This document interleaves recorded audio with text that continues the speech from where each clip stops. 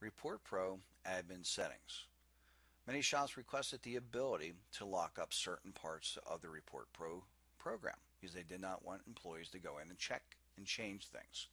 So, for example, mobile marketing inspections. Any of these reports here, anyone can run as it stands, but we can turn that off.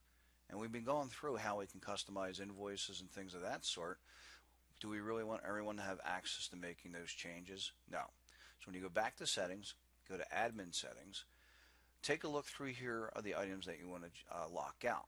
Come up with your password that can be uh, alphanumeric, so alphabet letters or numbers, and put in something, and please put it in a safe place. And then choose what you want to protect. So any reports you don't want to have shown, they need this code to get in, select that. So selecting whatever you do is what's going to lock out until that code's put in.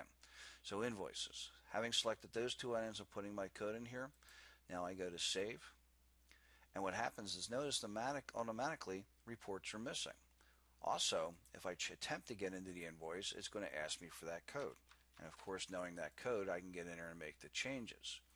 When you go back to the main home screen, if you want to see the reports reappear, go to the admin button that pops up after you turn it on. Click in there, put in your code, and hit OK, and all your reports are now available again to you.